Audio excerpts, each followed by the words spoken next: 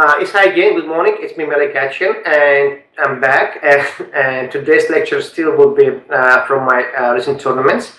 And I played the game against um, one of the best uh, girls, one of the best uh, women in the nation, uh, Tatev Abrahamyan and we played at Chicago Open uh, May 2010 and the game is interesting because there's many basic concepts, especially positional concepts. And today will be more about positional thinking, uh, of thinking, I would say, because we will deal with pawn chains, we will deal with bad and good pieces, all this stuff. So um, I had the white pieces, and I played again uh, round two against uh, Tatev Abrahamyan. So knight f3. Um, when I prepared the game, I have respect for my opponent to play King's Indian defense because I thought um, my opponent, uh, she never actually played uh, King's Indian defense and she wasn't uh, so familiar with that. But in fact, after the game, uh, when I spoke with her, I figured out she actually been studying uh, King's Indian defense for, for a while. So that means she knew the ideas. So yeah, we played one of the main lines and uh, knight c6. Well, um, this is like a new new way to play against um, Fianchetto of uh, King's Indian. So the idea behind of Nana 6 it's uh, basically providing two plans for black.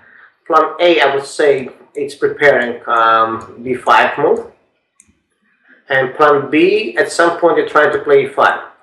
So again, e5 is not exactly the threat, but it's a possible way to play. And um, while I was thinking here, I was trying to understand um, how how she familiar with the whole this the tricks, all this detail, and I picked the move d5. Basically, the idea of playing d5 it's it's pretty much um, stopping e5, uh, killing uh, the root for the knight to go on e7, and also um, basically asking her what she's going to do. And she, she actually picked the right move. She, she did the knight a5, which is okay. Um, I actually did that myself also a few times when I played um, pretty same position as a black. So knight a5. Another possibility you could try, I'll go back on b8, which is still okay, uh, and then thinking about maybe to play still a5. Um, pretty much transport the game to the very rare type of uh, uh, King's Indian. But knight a5 still remain as the best. So not fd2.